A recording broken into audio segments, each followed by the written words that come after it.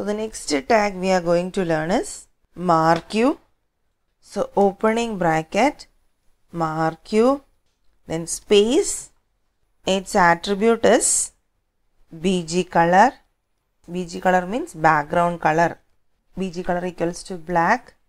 Then space, text equals to white. Then space, direction equals to left. Then closing bracket, enter. So I am typing the text to my school's web page. Then enter, opening bracket, slash mark you, closing bracket. Then click on file, save, then double click and open the student works 9 folder. Then double click and open program 5 folder. So here we can, our text is scrolling. So next again we will maximize the text editor window. So next we will include a video here. So here we have to give opening bracket br closing bracket then enter. So we are going to include a video.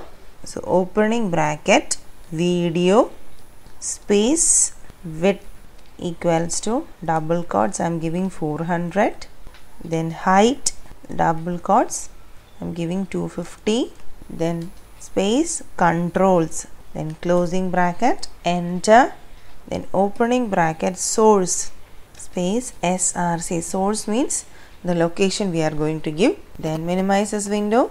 Double click and open the home folder. Then school resources folder. Then standard 9 so here I'm taking this video Kalolsavam so right click then properties. Then click drag and enlarge this window. Then select the parent folder location then right click copy then maximize the text editor window then double quotes right click and paste the path. Then again we have to give the slash and maximize the window then copy the file name right click copy close this window and from the bottom maximize the text editor window right click paste. Then give the double quotes then space we have to give type. That is which type of a file it is. Type equals to double quotes video slash mp4 then give the closing double quotes and closing bracket then enter opening bracket slash video closing bracket. We will save this file menu save. Then minimize this window. Double click and open the home folder then student works 9 folder and their program 5 so here we can see our video is displayed here. So we'll click on the play button. So the video is now playing.